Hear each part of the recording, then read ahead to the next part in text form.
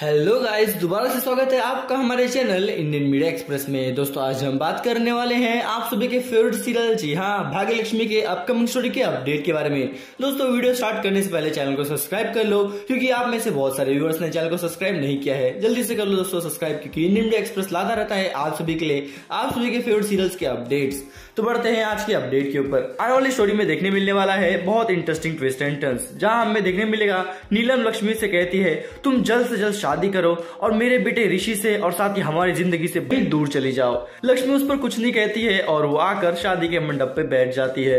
वह ऋषि बहुत ही ज़्यादा घाई में है और वो मंडप की ओर दौड़ा चला आ रहा है ताकि वो शादी को रोक सके और लक्ष्मी को बचा सके। वहीं अंदर आते वक्त विक्रांत के भेजे हुए गुंडे जो की ऋषि पर हमला कर देते हैं, जिस पर ऋषि को, जो की पहले से ही अशांत है, वो सभी से लड़ने लग जाता है।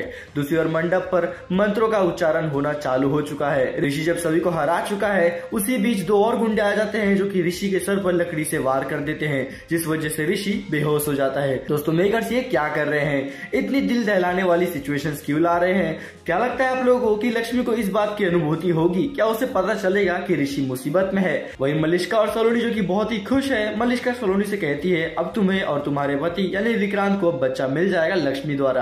क्या लगता है दोस्तों आप लोगों को कि क्या ये पूरी जो साजिश की गई है, वो भी सिर्फ़ एक बच्चे के लिए? इसके पीछे तो बहुत ही कोई बड़ी रीजन हो सकती है, जिससे किसी का भी नुकसान हो सकता है।